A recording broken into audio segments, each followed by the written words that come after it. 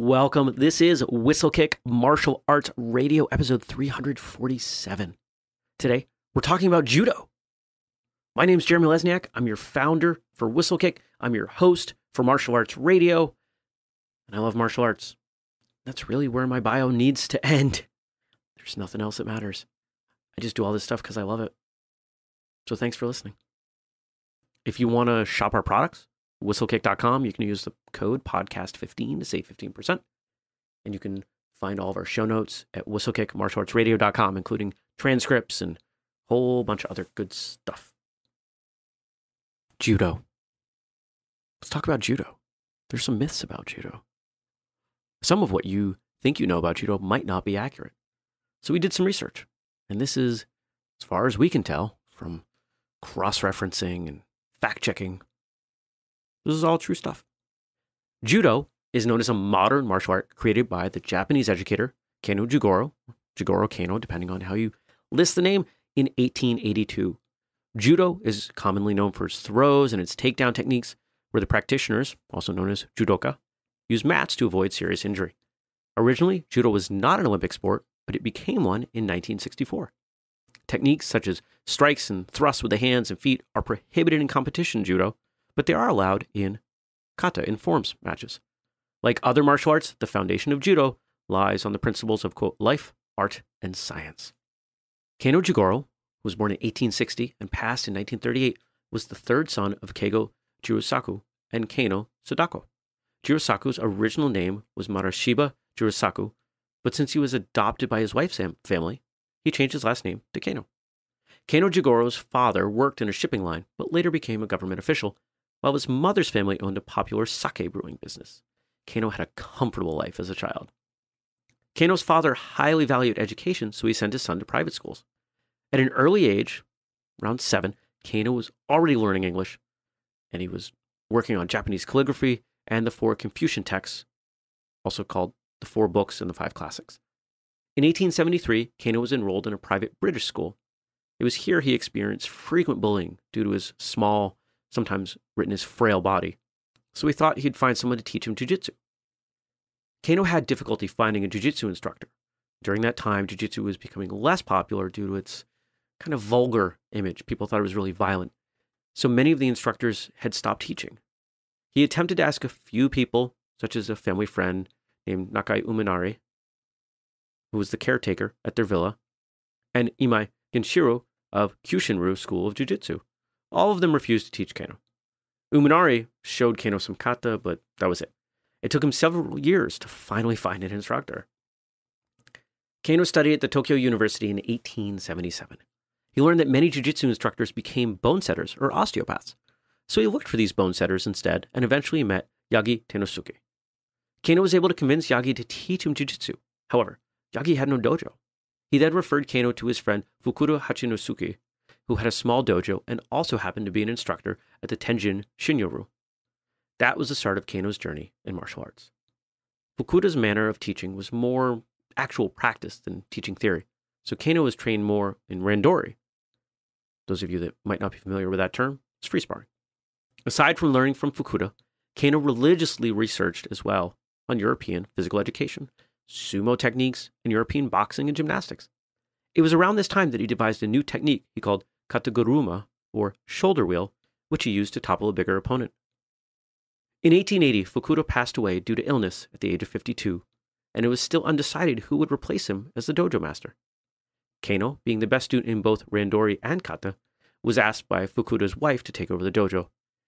Kano hesitated at first, thinking he wasn't ready to take on such a huge responsibility, but eventually he did accept. Kano was given all the manuscripts from the Fukuda dojo.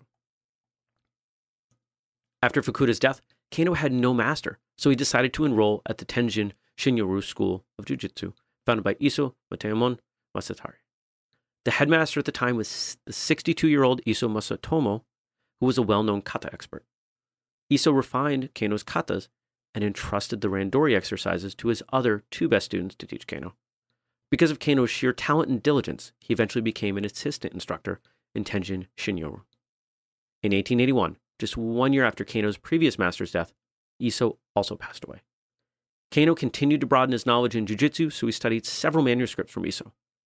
He also sought advice from masters of the old schools in Tokyo. He invested in jiu-jitsu books that he bought from bookstores that were sold at exorbitant prices. After studying for some time, Kano met the 48-year-old Ikubo Tsunetoshi of Kito-ryu. Ikubo refined Kano's throwing techniques, which he was an expert at. In February 1882, Kano founded his own school and he called it Kano Academy. This coincides with his employment at Gakushuin, or Peers School, as a part time instructor. In just a few weeks, his students grew in number and he needed a bigger place. He decided to rent rooms at a Buddhist temple called Eishoji, where he also slept.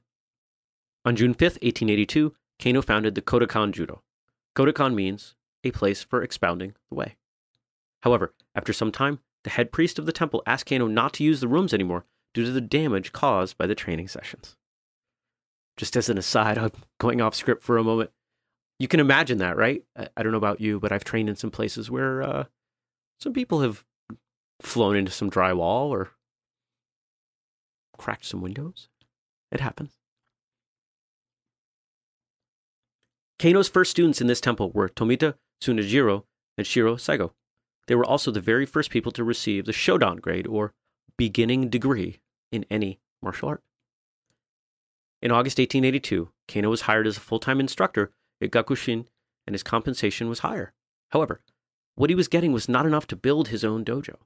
He took a stressful part time job at the Ministry of Education as a translator. The job got him enough money to build his own dojo with 12 tatami mats. The term judo did not come first from Kano, but rather from Terada Kanemon, the fifth headmaster of the Kito-ryu. Kano just revived the term in 1884 because he believed that the term jujitsu was not appropriate because of the principles he had incorporated into the art. Kano's principles involved Seiryoku, Zenyo, maximum efficiency, minimum effort, and Jita Kyoi, mutual welfare and benefit. On top of the Seiryoku Zenyo principle, he had his theory called Juyoku Go Seisu. Softness controls hardness, with the following explanation. In short, resisting a more powerful opponent will result in your defeat, whilst adjusting to and evading your opponent's attack will cause him to lose his balance, his power will be reduced, and you will defeat him. This can apply whatever the relative values of power, thus making it possible for weaker opponents to beat significantly stronger ones. This is the theory of Juyoku Go Seisu. Kano removed the techniques that were contrary to these principles because every conceivable technique is allowed in jiu-jitsu. Rather, Kano stressed the importance of technique execution while adhering to these principles. He developed jujitsu into judo, just like the development of bujitsu, or martial art, into budo, or martial way. Therefore, judokas would not only learn the techniques, but the principles that would shape and develop them morally. Moreover, Kano wanted judo to be distinguished from jujitsu because the latter already had a negative connotation on a nationwide scale, as he explained. At the time, a few bujitsu experts still existed, but bujitsu was almost abandoned by the nation at large. Even if I wanted to teach jujitsu, most people had now stopped thinking about it. So I thought it better to teach under a different name principally because my objectives were much wider than jujitsu. The three basic categories of waza or techniques in judo are nage waza, throwing, katame waza, grappling, and atemi waza, striking. Judo classes typically begin with ukemi or breakfalls as a sort of conditioning to avoid serious injury caused by throwing. This will train the tori or taker to correctly and safely perform the waza on the uke or receiver. There are different forms of ukemi, including ushiro ukemi, rear breakfalls, yoko ukemi, side breakfalls, mae ukemi, front, zempo kaiten ukemi, rolling. There are 67 nagewaza in total, and all have three stages of execution breaking the opponent's balance, setting the condition to successfully execute a throw, and selecting and executing an appropriate technique based on the conditions. Before performing the breaking of the opponent's balance, you've got to have a firm grip on the opponent. This is called kumikata. Grips can vary depending on the situation, so it's important to devise a plan first to make the kuzushi effective. Randori, as defined by Kano, means free practice, though it literally translates to taking chaos. It is a type of practice that simulates an actual contest and the participants can use whatever waza, whatever techniques they like. The intensity of randori also depends on the level of expertise of the participants. There are two main types of randori, light and hard. In hard randori, participants use more strength to compensate on skill. However, focusing only on power could be disadvantageous as the development of the technical skills could be left behind. Moreover, since it requires more energy, participants will find it difficult to participate in more matches. Light randori, on the other hand, strength is used only when necessary. It's secondary. And as a result, participants focus on refining their technique rather than delivering explosive movements. And since it uses less power, light randori is not only safer, but you can do more of it. Another form of randori is yakusoku geiko. It is a prearranged practice wherein the tori and the uke would plan first on the techniques to be executed with the intention of polishing one's skill. In this type of randori, the tori would use taisabaki, or body shifting and control, to perform a nagewaza to the uke. The uke would use the ukemi to safely land on his back. Then the tori might use his hikite, pulling hand, to hold the strike while maintaining his awareness. I think you know where I'm going. In other systems, this is called one step sparring or three step sparring, or, well, there are other names. There's a lot going on here. Can you tell? I'm actually skipping over some bits, not because it's not relevant, but because we went deep with this one, even deeper than we needed to. Kata, or forms, are prearranged movements, patterns, or exercises of techniques in judo, honestly, in most martial arts, where some of them are not permissible in competition and in randori for safety purpose. All kata are practiced with a partner, but in Seiryoku Zenyo Kokumin Taiiku no kata, meaning maximum efficiency national physical education kata, one of the two groups of physical exercises requires performing alone.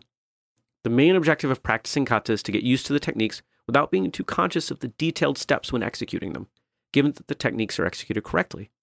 The ancient techniques are also taught even if they are not already used in contemporary judo, as they do have historical significance. The Kodokan recognizes 10 official named kata.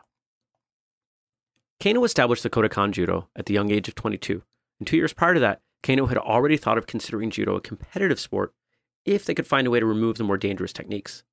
Since then, contests have been a vital part of judo. The oldest forms of judo contests followed the Kahuaku Shiai, or winner stays up method, where the participants were ordered by size and experience. The winner of each match would stay on the mat, while the loser would be replaced by the next in line. The participant with the highest number of wins would be declared winner. In 1899, Kano became a chair of the Dai Nippon Butoku Kai, or Greater Japan Martial Virtue Society, to lay down the first formal rules to be used in jiu-jitsu contests, while also being applicable to Kodokan Judo practitioners. The contest duration was 15 minutes, and the criteria for judging were limited to Nagewaza and Katamewaza, the atemi, the striking waza, was prohibited. Two ippons, points, would guarantee a win, and there were four possibilities in getting one. First, when the opponent was made to fall on their back. Second, when the opponent was pinned or controlled. Third and fourth, when the opponent lost by submission or. No, two kinds of submission. Third and fourth, when they lost by submission. Except for finger, toe, and ankle locks, which were prohibited. These rules were adopted by the Kodokan in 1900, but made some adjustments. For Kyu grades, lower ranks, all joint locks were prohibited, and for Dan grades, the black belts, wrist locks were added. In addition to this, the ratio of Tachiwaza and Newaza was set between 70 80% for Kyu grades, and for Dan grades, 60 to 70. The rules were adjusted again in 1916 when the Kodokan prohibited the use of leg joint locks, neck locks, and trunk constriction. I don't know what that last one is but I, I'm pretty sure I've experienced it, and it's awful. Kano demonstrated judo at the 1932 Olympics, which was the first time that judo was seen in an Olympic Games event. However, Kano's view on including judo to the Olympics was passive, as he said in this statement. I have been asked by people of various sections as to the wisdom and possibility of judo being introduced with other games and sports at the Olympic Games. My view on the matter, at present, is rather passive. If it be the desire of other member countries, I have no objection but I do not feel inclined to take any initiative. For one thing, judo in reality is not a mere sport or game. I regard it as a principle of life, art, and science. In fact, it is a means for personal cultural attainment. Only one of the forms of judo training, so called randori or free practice, can be classed as a form of sport. Certainly, to some extent, the same may be said of boxing and fencing, but today they are practiced and conducted as sports. Then the Olympic Games are so strongly flavored with nationalism that it is possible to be influenced by it and to develop contest judo, a retrograde form as jiu-jitsu was before the Kodokan was founded. Judo should be free as art and science from any external influences, political, national, racial, and financial, or any other organized interest. And all things connected with it should be directed to its ultimate object, the benefit of humanity. Human sacrifice is a matter of ancient history. More than three decades later, the International Olympic Committee included judo at the 1964 Summer Olympics, but only limited it to men. However, the pride of Japan, named Akio Kaminaga, was defeated by the Dutchman, Anton Geesink. Geesink was defeated by the Japanese in the 56 and 58 World Championships, wherein Kaminaga also participated. So Geesink's victory was quite unexpected. At the 1968 Olympics, judo was removed by the IOC, among other sports. The inclusion of women in judo in the Olympics started in 1988, was only as a demonstration event, and was officially included as a medal event in 1992. Kano developed judo with safety measures for competition. Even though judo does have dangerous techniques, these are prohibited by the rules established by the Kodokan. Since judo was developed by borrowing techniques and ideas from different styles, as well as from Kano's own invention, he devised it, quote, for physical culture and moral training, as well as for winning contests.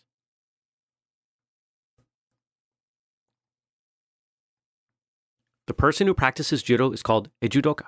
In English, it pertains to a person of any level of expertise, but traditionally it only pertains to those who were fourth dan or higher. Those below fourth dan were called kenkyusei, or trainees.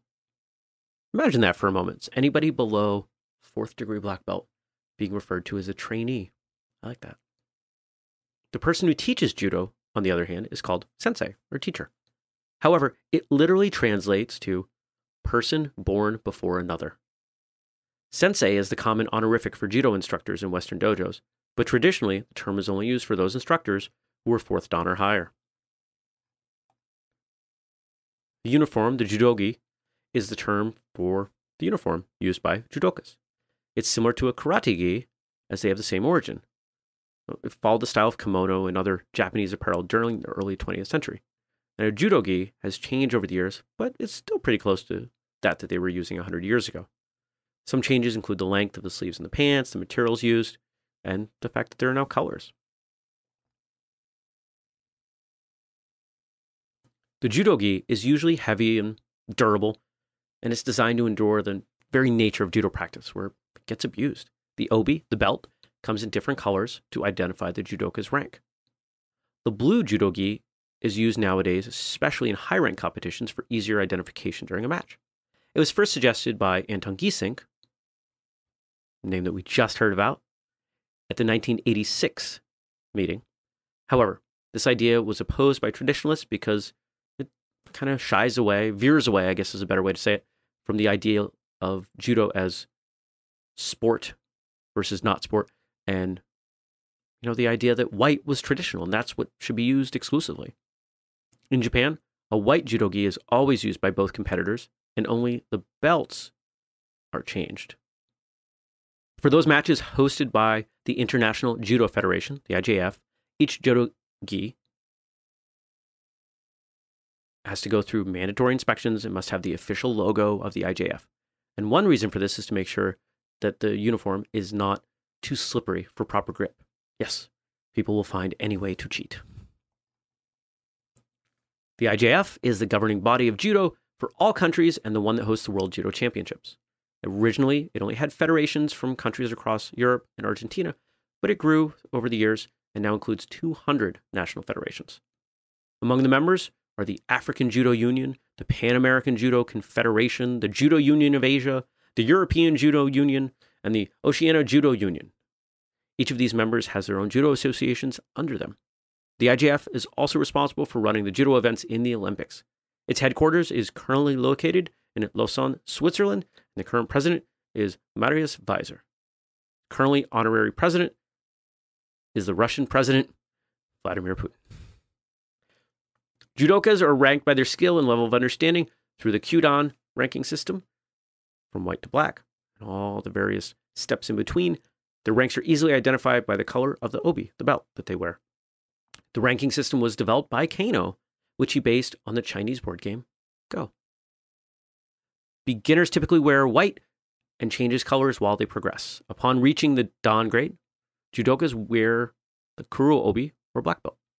The judoka would now improve his skills to climb the ladder from first to 10th degree. Ninth and 10th degree can only be achieved by practitioners who are promoted by the Kodokan itself. And as of this writing, there are only 17 people who were promoted to Kodokan 10th degree. Originally, the Kodokan did not limit the Dan level. According to them, if a person is deserving to exceed 10th degree, there is no reason why he should not be promoted to 11th, and so on. It is, however, different now. Kodokan has restricted the level to 10 and does not have any plans to nominate anyone beyond that. The latest individual that was promoted was Masao Shinohara in 2017. He was born in 1925. Now, if you like today's episode, you might want to go back to episode 299, where we go in depth on Jigoro Kano, the founder of Judo, the founder of the Kodokan. While there was some overlap between this episode and that one, that one goes much more into the psychology, the transition of Kano from a small, frail child into a man who launched judo and had such a tremendous impact on martial arts. Not just judo, not just Japanese arts, but pretty much everything that's come since. If you want to check out our products, you can find them at whistlekick.com. Don't forget code podcast15 to save 15%. And you can find our show notes, including transcripts and more, at whistlekickmartialartsradio.com. Email me if you want, jeremy at whistlekick.com, and find us on social media. We put a lot of fun stuff out there thought provoking, entertaining stuff that you want to see. Trust me. Follow us on Facebook, YouTube, Twitter, Instagram. We are at Whistlekick. That's all I've got for you today. I appreciate your time. Thanks for listening. Until next time, train hard, smile, and have a great day.